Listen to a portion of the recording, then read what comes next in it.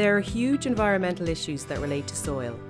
but there are also opportunities to come together to collectively solve these issues. GROW is a citizens' observatory engaging farmers and growers, researchers and decision makers to work together for generative soil practices. As part of GROW's climate change mission,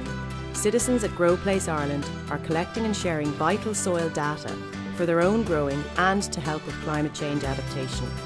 The most important thing for us with the GROW Observatory is that we have a, an opportunity to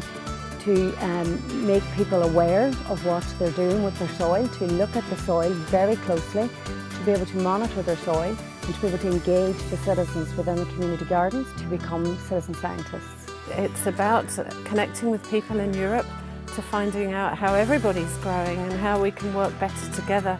as a European community. I think a lot of people struggle with soil, they don't really understand it. So to actually um, work with soil and to learn more about it is going to be massive for us. The most exciting thing about having a Grow Place in Ireland is that we're able to engage with citizens and we're able to uh, educate them about their soil. Having people come into community gardens now and to be able to see the sign up, the Grow Place, we'll be able to celebrate that. It's not just about community gardens, we're hoping to access people like uh, women in farming and different apple growers and all sorts of growers around the country and get them excited about the project and to help them find the Grow Observatory and to want to be involved. It's important to engage people because the climate is changing and because the soil has real needs which need to be worked on and helped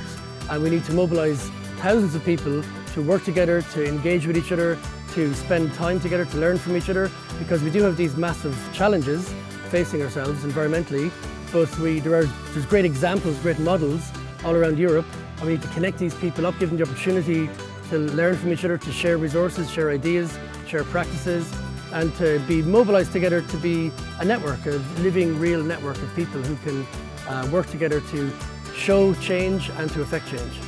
If you have access to land in a grow place, from an allotment to a farm, then you can join the Grow Observatory. Get in touch with Community Gardens Ireland to get your soil sensors and more information.